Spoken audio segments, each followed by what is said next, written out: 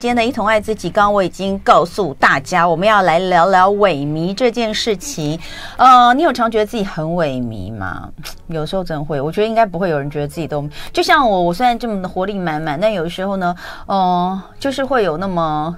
一段时间哦，你就突然间觉得好像工作有点提不起劲，好，那或者是回到家之后，你明明还有很多事情该做，可是你就是瘫软在那个沙发上，开始无意义的划着那些无意义的短影音，哦，你就什么都不想做，对。那呃，如果今天只是短暂的，然后你很快的又啊，好了，起来我还是得该做一些事情，或许还好，但是比较糟糕的是。你的这种萎靡的状况一直持续，其实有的时候你对什么事情都没兴趣，你提不起劲，没有什么事情让你觉得很开心，呃，我们往往就会担心在下一个阶段你会不会是进入到忧郁症，对不对？所以，嗯，萎靡或许可以说是我们还没有进入到那么严重之前的一个警讯，嗯，阶段，哦。那能不能够在这个时候给自己一些支持，这东西蛮重要的。但很好笑的是，呃，竟然有一本书，他就专门来谈聊萎靡这件事情哈。突然间觉得很疗愈，有没有？哦，我们大家一起来聊聊，到底为什么我们这么萎靡吧？我们我们一起来聊聊，我们怎么样可以解决我们这种萎靡的状况吧？今天呢，我们就要来聊这一本《萎靡解答之书》。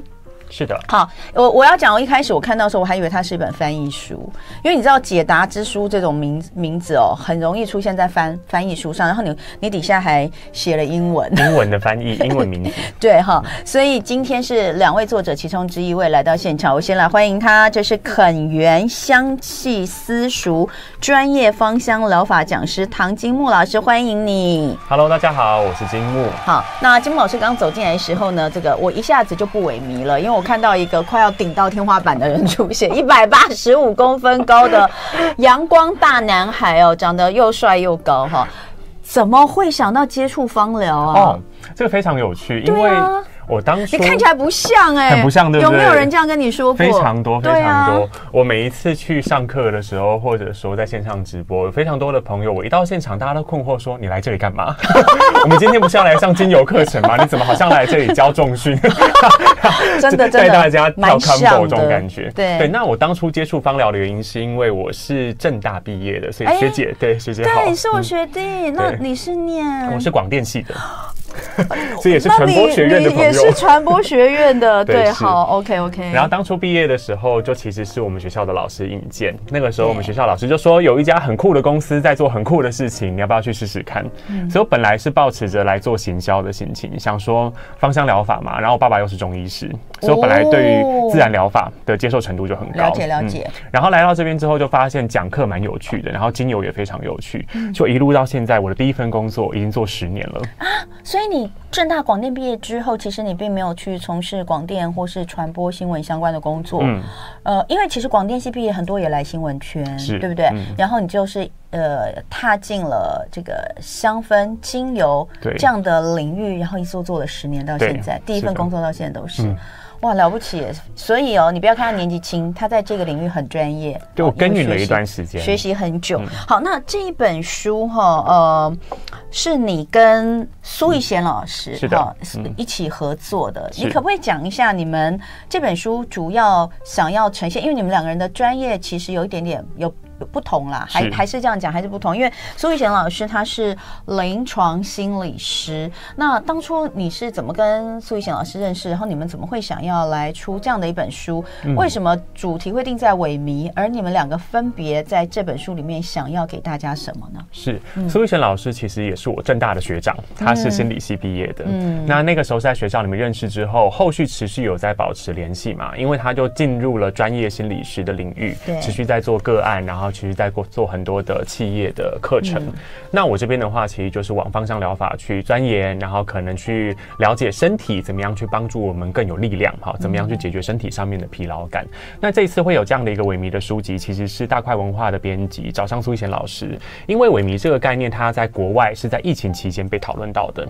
疫情期间那个时候大家都不能出门嘛，生活突然间天翻地覆，然后还有很多人是身体上面可能出现一些状况，然后就发现说这个。持续性的大家都一起在经历的疫情的状况，让某一些人开始出现了不上不下。好，就是我们的萎靡定义成是一个不上不下的心理状态，他可能还没有到嗯，比如说忧郁症或者说对任何的精神方面的一些问题，可是就会觉得整个人提不起劲，提不起力气起来。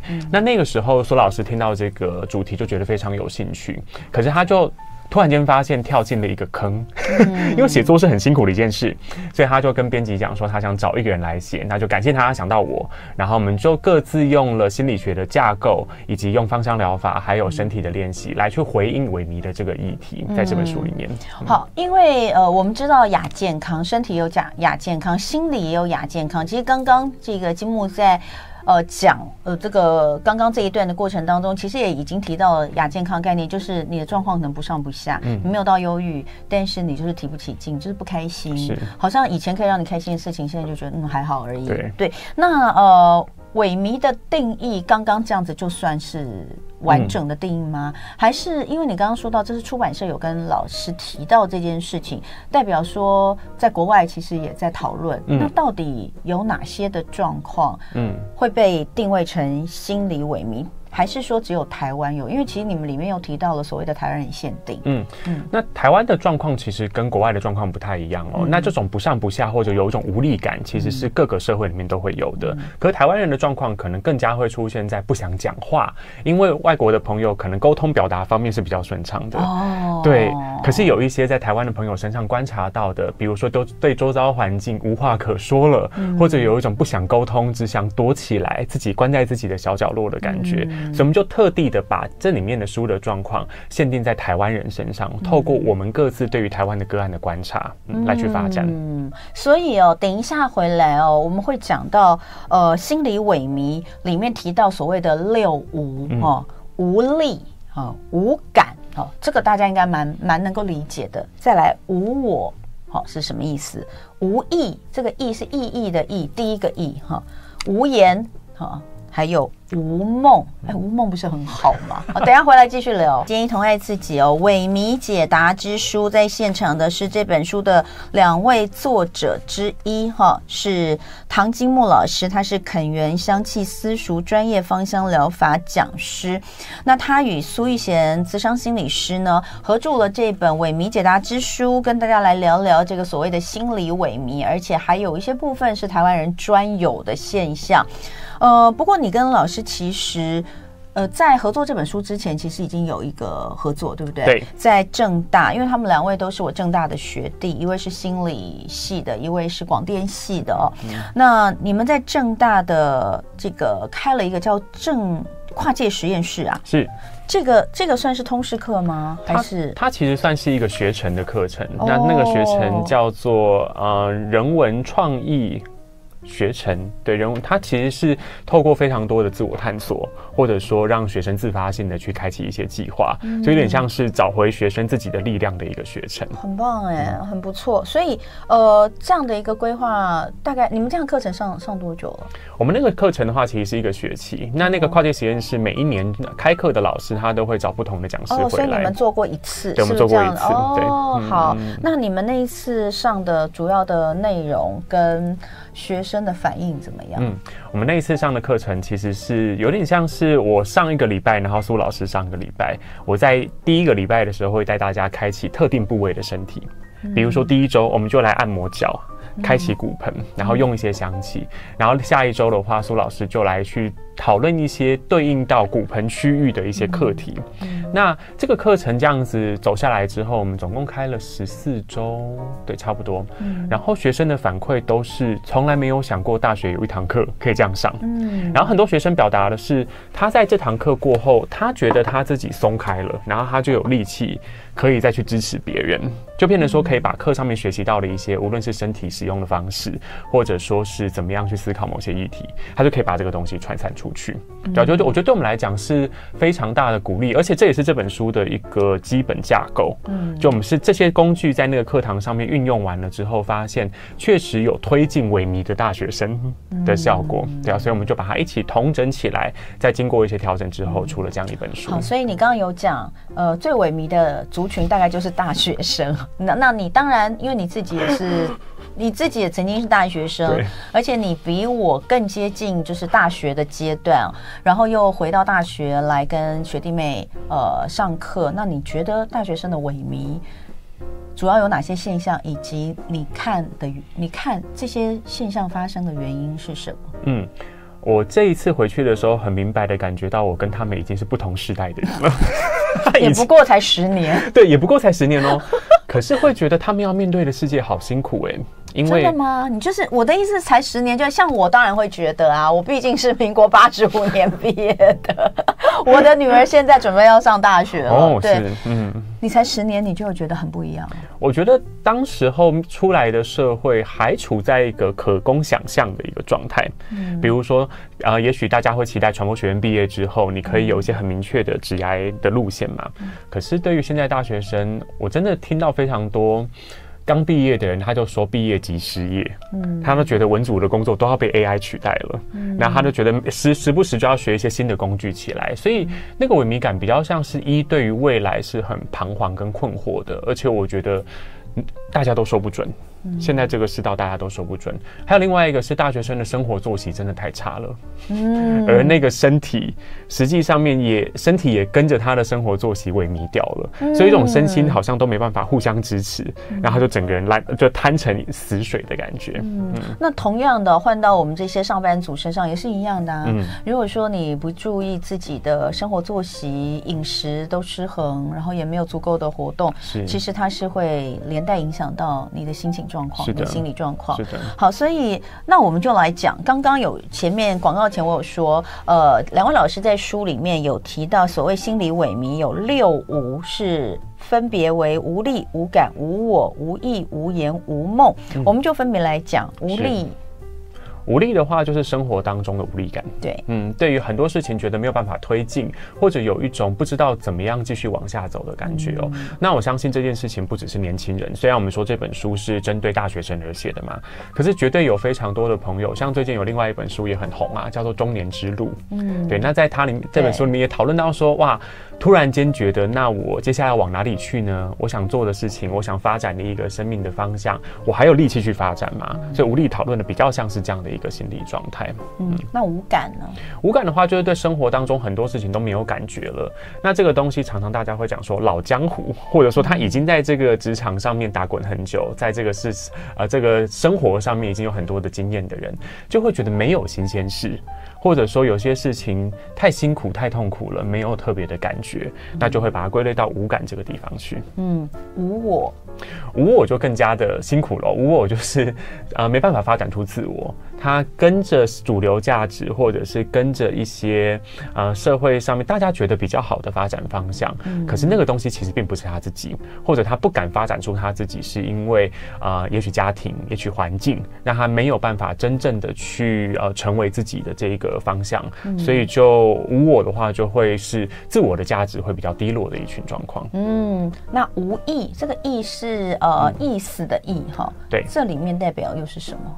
无意的话。其实我们在书里面去讨论到的，相反就是友谊嘛。对，所以有没有那个东西，有没有办法互相的连接、互相的串联？嗯，彼此的意思或者是意识，能不能够有所交流？那有一些人在无意的状况之下，他会陷入到的是没有办法接受他人的好意。这是一种形式啊，或者是说，他觉得跟他人的交流是很复杂、很麻烦的，他不愿意把自己的意图、意念就把它表达出来。嗯，不太想要再跟别人建立连接。对，或者是我也遇过学生跟我讲啊，他说他失恋一次之后，他再也不相信爱情了。对，这种听起来有点有点可爱，有点中二吗？但是其实很多大人说不定也有这样子的一个心理状态。有啊，说不定你在办公室。呃，被你觉得很好的这个同事捅了一刀之后，你就觉得我再也不要跟同事，呃。有什么过度亲密的接触，或是的，不过也是啦，这也是件好事。哎，我怎么突然间说出了我的实话呢？嗯，大实话说出来了。哎，没有，因为大家都说那个同事，我们就是下班之后大家各自回家就好，不要有太多牵连。哎，可是我以前在当记者的时候，我真的跟同事很好，年轻的时候啦，我们真的是下班之后都是，我们都快要在一起的时间本来就比跟家人长，但是我们甚至常会把下班之后跟家人的时间就是省略掉一。也跟同事在一起哈，所以嗯，真的，现在想一想，为什么那时候，但也那段时间也蛮快乐。呃，捅捅有没有被捅，应该也是有啦。好，无意讲完之后讲无言。无言这个真的就是很多台湾朋友可能会发生的状态了。这个无言分被动跟主动嘛，就比如说对某些事情已经懒得发表自己的意见，发表自己的想法，嗯，这是一回事哦。就是，嗯，尤其像现在社群媒体上面哦，很多事情都容易吵得不可开交。那有些人就会觉得，那我就不要表达，不要去分享自己的想法。好，这是第一种。另外一种是我们真的也发现，上台说话，或者说像现在。就是对着镜头前面说话，对很多人来讲是一个非常非常大的压力，因为这个东西比较少被锻炼，比较少被训练。而怎么样去好好表达自己，或者是在对话的过程当中很坚定的去说出自己想想的想法，这个其实就从无言到有言的一个过程。嗯，哎，讲到无言哦，我我我。突然间想要跟大家说，我因为我昨天才在跟我女儿讲一件事，就是现在的短影音，现在短影音不是很多吗？哦，我也是被短影音吸引的，这个很彻底。就是你现在打开脸书，有的时候关注朋友的动态还没有，因为太多推播，你知道吗？你一滑就是一个，我跟你讲，那真的很恐怖，一滑就是两个小时，一两个小时。那呃，我。我觉得哈，这个短影音，因为大家都在讲短影音看多会变笨，嗯啊，那但是没有一个具体的说法，就是怎么样变笨。可是我前一阵子看到，前两天看到一个，她是中国大陆的女生，长得非常漂亮，嗯，她应该啦，应该我没有仔细再点进去，因为我怕我一点进去又要花掉很多时间。那他应该是学哲学或者学文学，而且是研究所的学生。他讲到说他在自我反省一件事情，就是呃短影音对他造成的影响。他说大家都说短影音会变笨，有些人不是很赞同。可是呢，他去拆解这个中间，他觉得至少有一件事情，就是你看久短影音之后，你的文字词汇量会变少很多。他说呢，他从什么时候发现？就是他在跟他的同学或是跟他的教授在讨论呃功课的时候，他说呃。比如说讲说这个哦，比如说我们在讲说呃萎靡哈，我们在讲萎靡，然后呢，他可能讲讲之后，他讲说好，那这个就是我所我们这个东西之后就会造成怎么样怎么样的影响，然后他的教授就打断他说他的讲话非常的不精确，这个是什么？哦？那个是什么？他说现在，可是他后来仔细去思考，确实就是在呃短影音冲刺的时候，我们其实都是抓关键字。呃，而且你看久之后，你会发现他们为了要吸引大家，为了要短，所以他们用的词很多都是相当的类似跟重复。所以第一个是你的词汇量会变少，你会特别集中在某些某些词汇。还有就是你很容易用 this that 来取代你想真正想的东西。这就是回到为什么我要讲这，就回到你刚刚所说，就你越来越难呃清楚的去表达你的想法。嗯，你很容易，因为你从平常在生活当中，你就很容易用这个那个，或是 this that，哦，就他讲的那个什么东西，你为什么没有办法把他讲的那个东西完整的用你的话描述出来呢？是，所以他讲到一个东西，他说到最后这种情况再严重下去，其实就会变成失语。嗯，他的失语就你的无言呢，对不对？那他说人类最重要的沟通就是语言，嗯，只有而语言它并不是单单只是文字，它是汇集了你的思想思考，除了你自己之外，你所在外面搜集到的，你自己再去做一个反刍出来的东西。所以语言它不是那么简单的就是文字，嗯，还包括了你的你的你的思考，你个人的。个人的解读，嗯，所以他说这个久了之后就会变成失语，嗯，哎，你刚刚讲的五言，我就想到这段，所以我昨天也在跟我女儿讲哈，说我也觉得这东西蛮严重，所以我现在要开始戒短影音。我我我我我觉得要戒一部分啦，像我看短影音有时候真的也是，我没有去看那种很没意义的，我看短音大概都好像小孩比较多，小孩很很可爱的哈。那另外可能就是那种，你知道我现在常常会看那种呃电影的介绍。电影介绍真的也是蛮蛮无意义的，为什么不去看一部电影呢？哈，所以我想要借短影。好，这个这个我是反馈一下金木老师讲的无言，最后的无梦，嗯，呃，我刚刚说无梦不是很好吗？哦，不是这个意思，这里的无梦指的是没有梦想。对，而且没有梦想这件事情，也可以去把它连接到的是，人有没有去想象到自己有一个使命，或者有一个可以让自己感受到更有自由价值的一个东西哦。那其实现在很多人都被生活非常大的压力给压的不行嘛。像我自己到了这个年纪，周边的朋友开始在买房，然后但是我要去看房子的时候呢，就会觉得哇，高不可攀啊，就是很难很难真的去追上那个进度。但是这样子的一个生活压力，很多时候就会让我们没有办法去想象什么事情我们做的最有感觉，什么事情我们做的最快乐，好像最能够实现自我。讲的在。讲的再哲学一点的话，好像就是那我们来到这个世界上的目标是什么？嗯，其实吴梦却描述的就是一种这种怀疑。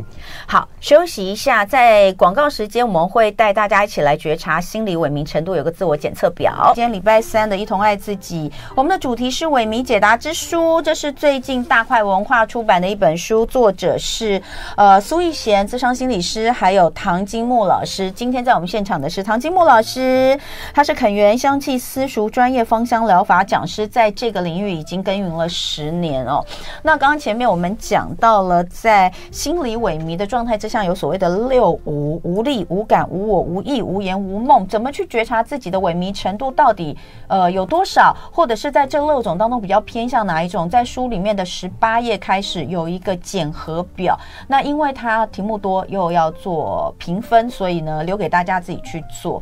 但比较接下来重要的，当然还是后续就是。如果真的你无力，那你要怎么样从无力到有力？你无感要怎么让你从无感到有感？是好那。在这个部分，除了苏逸贤老师的一些心理的情绪的引导跟疏解爬书之外，那金木老师，你在这里面扮演什么样的角色？嗯，我主要分享的就是用身体的练习，然后包含像是按摩，或者我们有一个章节，其实有一些类似像瑜伽的动作，来帮助我们开启身体的某一些开关哦。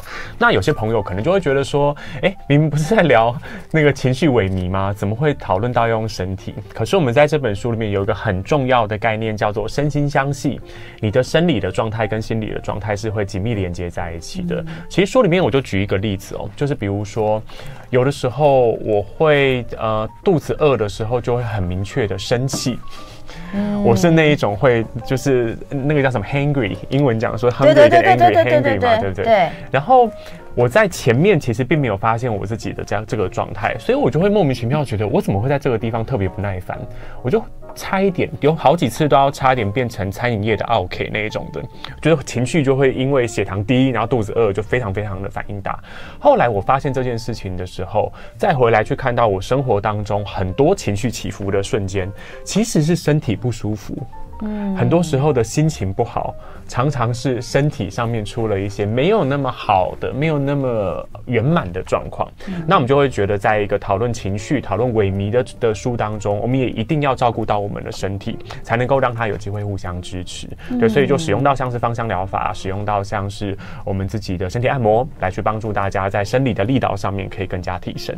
嗯，好。所以那呃，因为这里面有很多，我们今天可能也没有办法讲到。全部，所以我们会选呃一个主题来讲。嗯，那呃，我我我先说哈，就是刚刚我们说的六无要到六有啊。那这个有些人可能还不是那么的清楚，可以理解它的区别在什么地方。但是在这本书里面，每一章哦，它都会有一个几个字做一个定义，我觉得这很棒。所以我在这里跟大家分享一下，或许大家会比较能够抓到到底。我应该变成什么样子？是我刚刚快速看了一下，因为我昨天先看前面，确实还没有看到我萎靡的部分。果然，刚刚你讲完之后，我看了一下，哎，对，这个地方我的分数都蛮高的，就是在无意的部分，对不对？好，那我从第一个呃无力开始讲哈，从无力到有力，什么意思呢？就是敢相信，嗯，哦，就是你敢相信，敢相信什么呢？敢相信。敢相信自己吗？是有是有能力或有力量去做到一些你觉得你做不到的事情，还加上敢相信这个世界会把你接住。好，嗯，所以这是无力到有力，让你敢相信。第二个是无感，到有感，那当然就是你敢有感觉。对，有些人不敢有感觉。对，因为有感觉太痛苦了，对，所以会想要逃避那些感受跟感觉。第三个无我到有我，敢做自己。这个刚刚金木老师有分享一下他自己，好，对他可能比较呃。比较会想要顺着别人的意思去做，或是去做符合别人期待的事情，跟说符合别人期待的话。但是他的他要努力的功课是，他要能够勇敢表达自己的意思，对不对？第四个，从无意到有意，就我啦。哦，敢脆弱，嗯，对不对？对，嗯，敢在别人面前表现自己脆弱的样子，这个我们曾经在礼拜四的课程当中，不是课程，在我们礼拜四的节目的老师们来讲，其实我们常常讲到，就是你愿意让别人走入自己的人生吗？哦，这句这句话其实我看是非常非常有感的，好像都是我在走入别人的人生，我想要帮别人什么，但是我却不太呃。不太让很多人能够真的走入我的人生，或者是我可能不敢求救，嗯，哦，不敢表现自己脆弱的样子，没错，这个东西是无意到有意，就是敢脆弱。第五个无言到有言，敢说敢听，就。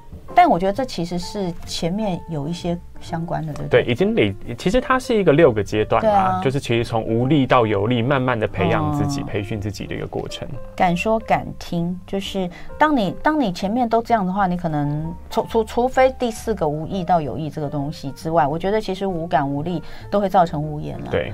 就是你也你无我，嗯，就会造成无言，因为你就不讲嘛，所以你怎么样敢说敢听，对，最后一个无梦到有梦就是敢做梦，敢做梦，对。那如果是这样的话，我们就从第一个无力。我们举无力来当例子，好啊，没问题。那无力的话，你是如何在书中透过芳香疗法给大家解方？嗯，首先无力的话，我们要先看到自己的身体状况目前是如何哦。健康是做任何事情的基础，所以你必须要先看到自己当下的一个身体是不是也处在一个亚健康的状态里面。那我们书里面就有介绍到一个方法，它叫做身体扫描。当然，如果各位听众朋友你自己目前已经有很强烈的觉得身体不舒服，你还是要先去看医生。对的。可是很多人的状况是什么呢？他已经有一种就是觉得哪里卡卡，哪里怪怪的。那我们可以先透过这样子的一个呃，就是身体扫描的方式来帮助自己。那做的方法也非常简单，各位可以找到一个舒服的角落，然后你可以采取像是坐在椅子上也可以，或者是你用盘腿的方式也好。我们闭上眼睛，保持自己的呼吸，然后你可以选择你自己。喜欢的精油香气，我们在书里面搭配无力的，其实是像是高地杜松，还有沉香纯百里香这两个香气。但是大家要选其他的香气也是完全没有问题的。闭上眼睛，跟着气味的嗅闻，想象头顶有一颗光球 LED 灯，然后它就透过你的呼吸，然后移动到你的脸部前方，然后接着往下往下来到你的腿部。接着顺着你的呼吸，从你的尾椎，再沿着脊椎上来之后，回到头顶。那这个过程当中，人其实会有各式各样的思绪，或者你会有突然间觉得，哎，这里呼吸有点不顺，哎，这里有点卡卡的，就张开眼睛之后把它记录下来。然后去把它，嗯，看它的对应部位有没有连接到我们书里面的一些部分。就这个身体扫描会是一个蛮好的工具，至少让你看一下你现在身体哪里卡住，或者情绪哪一个部位连接到的情绪有一个卡关的状况。嗯，那接下来的话，我们就会使用到像是我们书里面提到的香气来去帮助大家哦。啊，我我有点想邀请学姐来闻闻看呢。嗯。沉香醇、百里香，跟高地杜松，嗯，这个我们都常常在我们的呃芳疗的节目当中有使用，是，对，对，这是。沉香醇、百里香，对不对？嗯嗯，然后这个是高地杜松，嗯。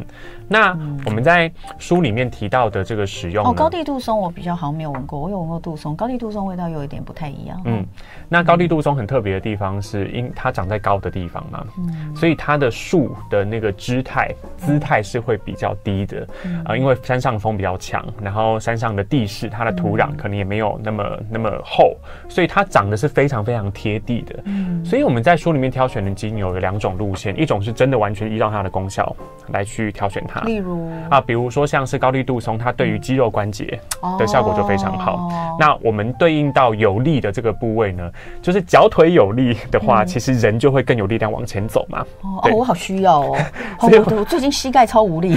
对，所以就是我们的下半身，对下半身这个部位就跟身体的有力或无力是有连结的。对，那我们书里面按摩的部位也是锻炼我们的骨盆跟下半身啦。但是回到高地杜松，它的功效上面是可以帮助我们的肌肉啊，可以更有力量，还要帮助我们代谢比较多的疼痛。嗯，然后我们也另外一方面呢，也会从这个植物的生长状态，我们有一种像是跟植物老师学习，嗯，我们就学习它的那一个很接地的，然后很靠近土地的那个状态，愿意为了环境改变自己的生存策略。对啊，所以。我们的选油都有这两种不同路线的一个方向。好，那这是高地杜松，那沉呃沉沈沈香醇百里香呢？对，那沉香醇百里香比较特别的地方是，它是所有的百里香里面最甜的。嗯，一般来说，大家吃到百里香的那个感觉是，它是有点新香料的感觉，对不对？有一种烤肉，好，就如果大家去吃到像美国的 barbecue，其实就蛮常使用到百里香的。那但是它是甜的，嗯嗯，意思就是说。百里香们常常会生长在很辣，对不对？就是很热的，不是很辣，很热的那个环境里面，才跑出很辣的那个味道。对。可是沉香醇百里香是在困难当中长出甜美。嗯嗯。所以这个是我们一一来植物上面，植物方面有这样的一个特质。嗯。那二来是里面的那个沉香醇，它名字前面放的那个沉香醇嘛，其实是在滋补神经。还有去帮助我们补充气力上面是非常有帮助的，所以沉香醇百里香就是一个，比如说免疫系统啦，或者说平常会觉得自己身体比较衰弱，常常会有一种无力感，或者是说比较不容易去抵抗，像刚才前面学姐也有提到，七月份的 Omicron 又要再回来了嘛？对，对啊，所以这个这个体力方面、免疫力方面比较低下的朋友，其实都可以使用到沉香醇沉香醇百里香这样的一个香气。所以这两支精油哦，它就是对应到。无力，其实从嗯，就是让你的身体，尤其是你的双腿跟骨盆区域更加有力，这样就可以支撑你的，比较能够支撑自己的身体哦。嗯，那我觉得很有趣，他在呃里面告诉大家你要怎么样，除了刚刚讲到那个扫描，对不对？身体的扫描之外，要讲说你不要忘了你有身体。我觉得这句话超有意思。为什么我们会忘记？如果无力感很重，人会忘记自己有身体吗？我觉得现代人大部分都忘记自己有身体，对，为什么？因为。呃呃，大家都很把自己当做机器在用嘛，对对对对啊，那倒是，我我也是把我自己当机器在用，这样。对，那那所谓的亚健康状态状态，其实就是这样，大家都觉得，哎，其实我有时间休息，我在休息就好了，我就可以复原。可是这不是换一个零件就可以解决的事情啊。像很多人工作的繁忙，或者是他非常努力在职业上面发展，可是他的身体其实早就发出一些警讯了。嗯，那旁边的人都跟他讲，他没办法听进去，因为就觉得我不能停下来嘛。然后我把自己当做一个跑车在用，可是有的时候真的到了那一个亚健康状态，要恢复是要花更长的时间，所以要邀请大家记得自己不是机器人，是个人类。有人说无力感很重人会常抽筋吗？不一定吧，但是不晓得哎，我不知道。好，那待会回来后我们会再聊一些其他部分，而且你今天还带了一支茉莉。那茉莉并没有对应在这个里面，所以可能是有一些其他的状况。呃，事实上是让呃这个老师想要把茉莉这支精油告诉大家。那我们待会来继续聊。今天在现场的呢是肯源香气私塾专业芳香疗法讲师唐金木老师。呃，他今天来分享他与苏逸贤资商心理师呃合合力这个推出的在大块文化出版的萎靡解答之书，就是卡在不上不下心理状态的你必须要知道的六。个解方，呃，用六五来形容心理萎靡的不同的类别，还有它的程度，那中间都对应每一个。呃，无，比如说无力无感哦，都各自对应两支哦，精油解方、芳疗解方。那刚刚我就问他那个无意，因为我的部分看起来就比较像无意哦，就是呃无意到有意，就是你敢脆弱哈，敢拥抱自己哦，等等的。哎，它这个里面书上对应的两支，一支是芳樟哦，芳香的樟树的芳香，另外是吉叶，吉就是吉子红吉哦，这个这个荆棘的棘叶，这两只都是我们很少听到的。哎，它是很少听到，还是我没有听到而已？它的使用上面其实是多的，可是就是大家可能比较熟悉的都是来自地中海。的香气，薰衣草啦，或者像是澳洲的茶树啦这种的，大家比较熟悉。但这两支的话，就是很应该要被大家认识的，所以我就把它写在这里面。好，所以呃。其实里面的就是对应的精油，有时候我们会觉得哇，精油好多好复杂哈，我就都搞不清楚。那这本书就相对简单啊，因为毕竟芳香疗法它是一部分的对应嘛，那好像让大家也比较简单的可以呃去去使用或者是去认识。是的，所以就是每一种，所以这这里面大概就十二种，对不对？那你今天带到现场是茉莉，嗯，你你告诉我们你为什么为什么要带茉莉，或者是你觉得茉莉可以使用在什么地方？我觉得。首先，茉莉是一个非常宜人的气味，大家闻到它立刻想到茉莉花茶嘛。然后现在这个天气真的太可怕了，就是那个烦闷感跟烦躁感。那这个时候很多人会用胡椒薄荷，很多人可能会用比较凉感的香气。可对我来说，茉莉是一个非常能够化解郁闷的。化解那一种高压压在身上的那种感觉。那茉莉也是我们在书里面从无感到有感哦，就是让人有感觉的一个香气。对，所以今天带来是跟现场的朋友分享。